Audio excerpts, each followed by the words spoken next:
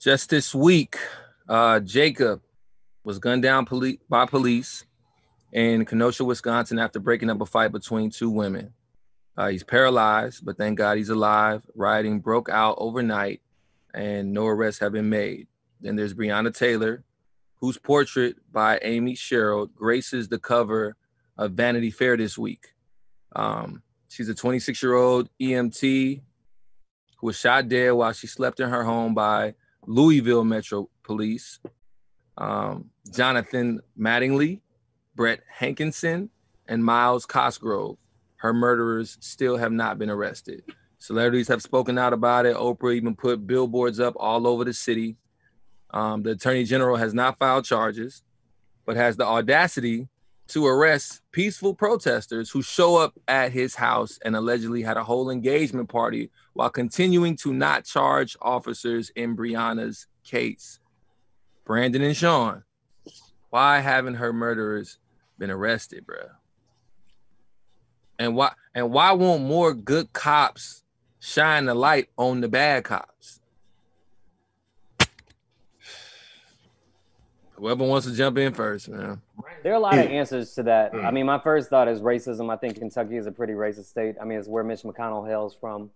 But then you really you talk about elections and you can start dipping into the idea of like down ballot and who is voted. I believe their attorney general is somebody that's an elected official there. And then you also talk about police unions and the power that they have over the police or the attorney general and actually prosecuting these guys.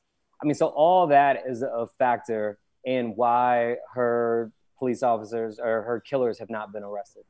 Well, there's a, you know, I just got back from Louisville, and I got a chance to spend a good deal of time with uh, with Breonna's mother, Tamika, her, her sister. I got to spend several hours with Kenny, who was her boyfriend, who was there uh, in the apartment when she was murdered.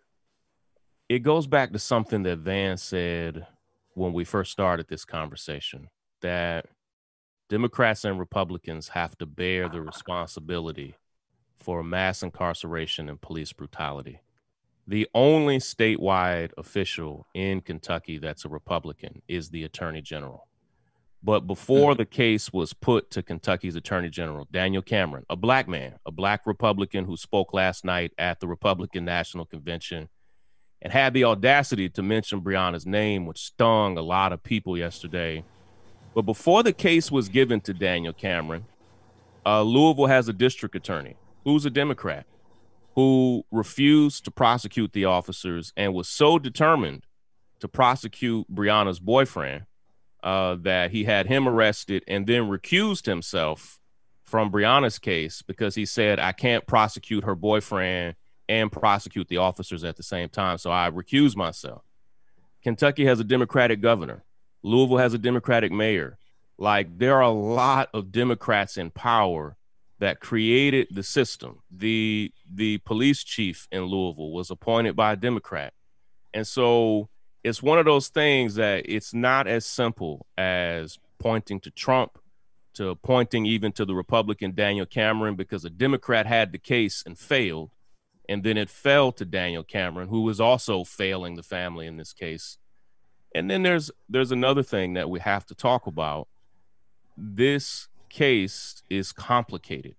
And I mean that not to dismiss not to dismiss it, but to say the officers who showed up that day were were given a warrant. The warrant was BS. They lied to get it, and and the postmaster general, the person who oversees Louisville's postal system, said that hey, the information you all said uh, we gave you, we didn't give you, so there's something there. But the fact is that these officers were given a warrant, and because they were, and because they acted on a warrant they were given, I have talked to prosecutors all over the country. This case is a hard case to prosecute because it really is about the 10 different ways the whole system failed Breonna. Uh, it, it's about bad law. It's about how difficult it is to prosecute police officers. So a lot of people just think, man, they haven't prosecuted this case yet because uh, uh, black women don't get justice. Uh, you know, all but because uh, Kentucky is conservative. Kentucky is conservative, and it's hard to get justice.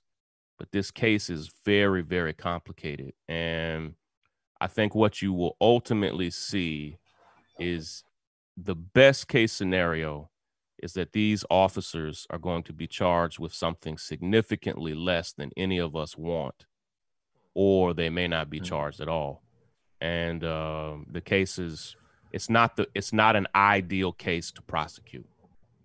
Can I can I, can I give like yeah, just like a I'm gonna give like a dumb myself. I'm gonna give a dumb dude's opinion of this. So reverse that, right? For some reason, uh, there's some sort of misunderstanding, a bad system where three with three cops. If it were the other way around, if Hankinson and them were inside and some kind of way by mistake, best intentions, however you want to set up the hypothetical, someone walks into some place where they are when they're laying down and slaughters them. Okay. The energy behind it would be different. See what I'm saying? Part of what's like Cameron and the rest of these guys, they haven't even given us the feeling that they care about justice. Mm. Like everything is so being being dealt with so behind the scenes and so in, in such a clandestine way that the people that see an innocent black woman slaughtered in her bed in her home, like the people that see an innocent black woman that that's lost her life for absolutely nothing, they're being told to eat shit. Right. And, oh, in all of these cases, there right. are legal aspects to it. What we want is the energy that would have been provided to us had there been a law enforcement officer or someone whose life is worth a damn in America. I want to feel like you care about finding the truth. Then I want right. you to go out and find it. Now, yep. the truth is a pill that's hard to swallow, we'll deal with that then. But mm-hmm. right. Well, Van, I'll say. And you know, hold, hold on one second. Yeah. We got to take one quick break. We will be right back. Devon, we're gonna come to you and talk about from a spiritual standpoint how we can deal with this. This is heavy. This is heavy. This is Kingz with Kosine on Fox Soul. Welcome back to Kingz with Kosine. I just want to thank uh, this roundtable of brothers, fellas. I'm honored.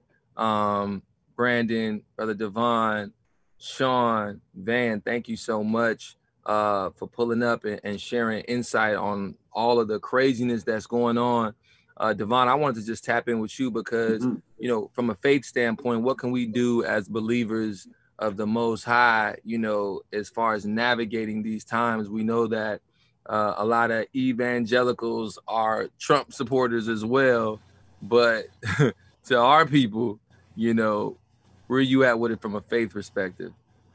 Yeah, I mean, look, uh, you know, it's it's in moments like this, I think our faith is tested and questioned, and at the same time strengthened.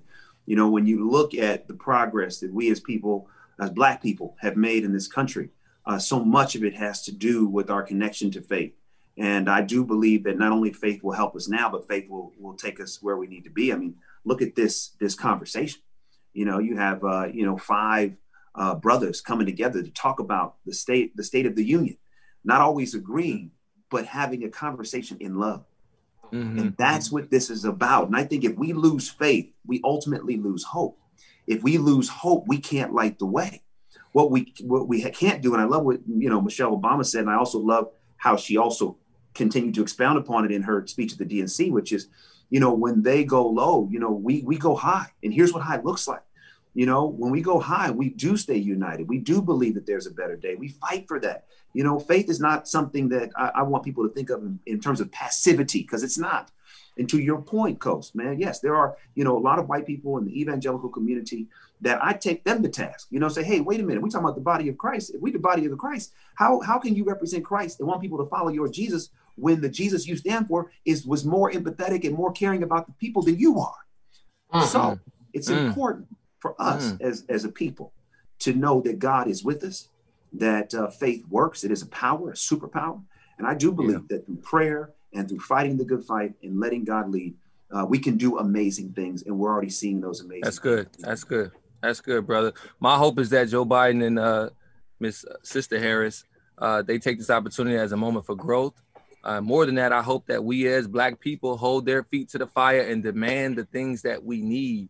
Uh, but we can't do that from our sofas. We have to go to the polls or mail in our ballots. And for more information on how you can get involved, visit our Forever FLOTUS, Michelle Obama's website. Thank you for bringing her up, Devon. www.whenweallvote.org. Uh, we are responsible for the world that we create and the world that we leave behind for our children. Everybody, we are all in this together, but we've got to be involved in moving the needle forward.